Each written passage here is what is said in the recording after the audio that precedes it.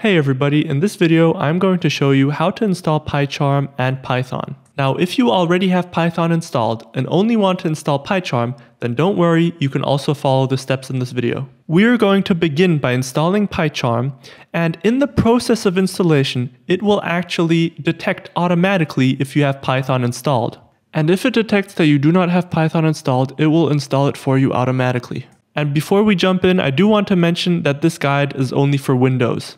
Okay, the first thing you're gonna do is you're gonna open a new browser window and you're gonna Google PyCharm download. Then you're going to click on the first entry that appears and this will take you to the download page of PyCharm. Now, if you intend to use Python commercially, you might want to be interested in downloading the professional version, but over here, we're going to stick to the community version. So now you're going to click on download and you'll see that a small pop-up appears on the bottom left-hand side of your screen. Now you'll just have to wait a moment until the download is complete. I've gone ahead and fast forwarded the footage so that we don't have to wait that long. Alright, so once the download has completed, you want to go ahead and click on it. And at the same time, we don't need the browser anymore, so we can go ahead and close that down. Next, you'll see a window with the installation setup appear. So you want to go ahead and press next over here. And the subsequent window that appears will ask you where you want to install PyCharm. Now I'm just going to leave it at the default location and press next over here again. Then in the next window, you'll have a couple of installation options that appear. Now I am going to choose two of these options. The first one I want to choose is the update of the path variable. This will allow me to run Python code from the Windows terminal. And the second option that I am going to tick is the shortcut on my Windows desktop. After you selected the desired options, you want to click on next. Then it will ask you to choose a start menu folder and we're just going to go with the default here and you can go ahead and press install. Now we will go through the installation process and this should take about a minute or two.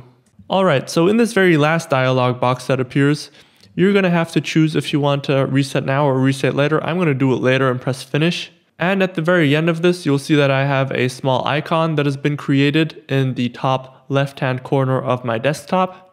And when you open PyCharm for the very first time by clicking on the icon, it's going to run you through a couple of dialog boxes. First, it's going to go ahead and ask you if you have read the privacy policy, and you're going to, of course, read it through thoroughly, just like I am doing over here, and press confirm.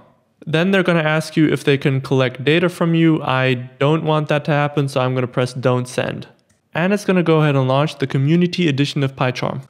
Although we have already successfully installed PyCharm, we still need to take care of Python, the programming language. So let's go ahead and click on new project, and one of two things is going to happen. If you do not have Python installed, you'll see this small note pop up at the bottom of the dialog box. Now if you do have Python installed, that note won't pop up and you're ready to go and you don't need to continue watching. But since we don't have Python installed and want to install it, we need to pay close attention over here. You can see that the second bullet point says click create to download and install Python. So that is super helpful and we want to go ahead and do just that. So let's go ahead and click on create. And now you'll see an installation box pop up telling us that Python is installing. And so you just want to wait for a brief moment until it finishes installing, and then it will continue to create the virtual environment, and after that, it should be done.